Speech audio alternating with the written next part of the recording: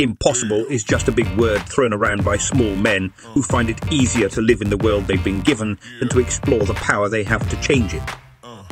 Impossible is not a fact. It's an opinion. Impossible is not a declaration. It's a dare.